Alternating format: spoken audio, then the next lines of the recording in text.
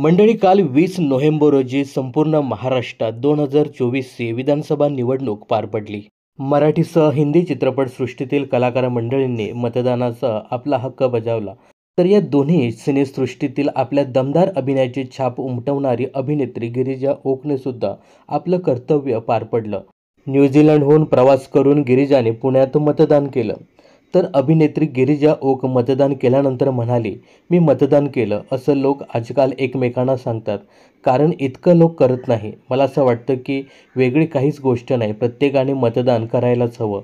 मी आज न्यूझीलंडहून बत्तीस तास प्रवास करून भारतात आले.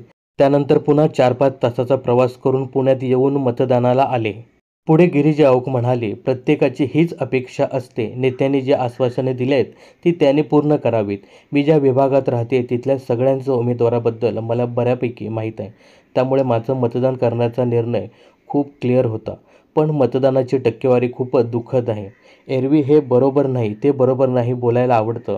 पण मतदानाचा हक्क बजावला नाही तर बोलण्याचा हक्क आपल्याला नसू शकतो.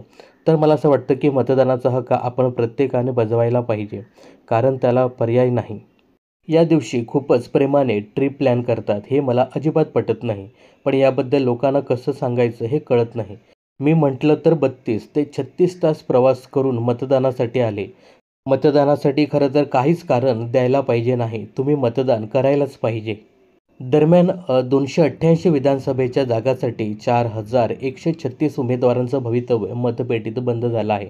आणि येत्या तेवीस नोव्हेंबरला स्पष्ट होणार आहे की कोण जिंकणार.